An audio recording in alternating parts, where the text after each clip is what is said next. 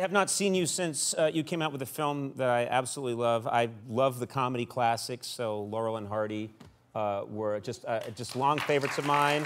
You did uh, this beautiful movie uh, called Stan and Ollie, and uh, I thought you completely became Laurel of Laurel and Hardy. It was absolutely, absolutely amazing. You became him physically. We have a picture there, but you became him, and you told this great story of these comedians that are getting on in years. I found it rough to watch because you're getting on in years. It's towards the tail end of the career, and Yeah. people are saying, "When are you going to hang it up?" I get some of that every now and then, and you're just you. And but I, I thought it was just a really beautiful, an amazing acting job. Thank you. Well, it's like it's about it's about friendship, and uh, what what you notice about Laurel and Hardy is that uh, throughout their lives they all had different wives, and at the end of their their working relationship together, all they had was each other. They, they still, you know, it's like the and, and they never started out as friends. They were they were put together, Right. Uh, and, but they became friends over the years. And this is the movie was set during the sort of tail end of their career, and um, uh, and it's yeah, it's just a movie about friendship, really. You be, really became him in a way that because I've seen all the Oliver and Hardy, the Laurel and Hardy films, and and I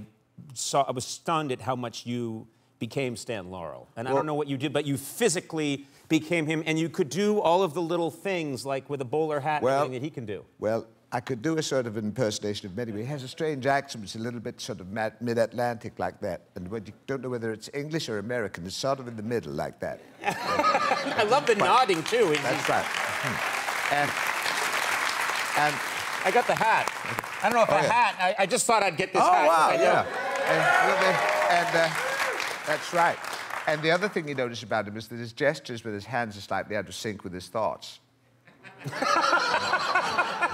and, and when he put his hat on like that, it would fly off again. I don't know why. You try and put it on like that, and then oh, it keeps flying off. Don't know what it is. There must be something wrong with my head there. Oh, there it was again. There, sorry. Okay, well. I just love that you. If you haven't seen the movie, you have to see it. It's, uh, it's really is a, it's a beautifully told story. I, I absolutely fell in love with it. I thought it was Thank you. fantastic. Uh,